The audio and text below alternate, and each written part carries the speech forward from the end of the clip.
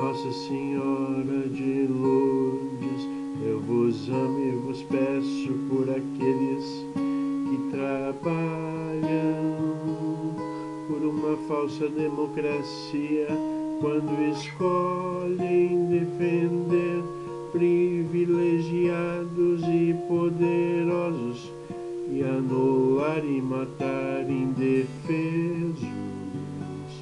crianças doentes, mulheres incapazes, estrupados e torturados, autoridades do judiciário e da saúde em nome de seus privilégios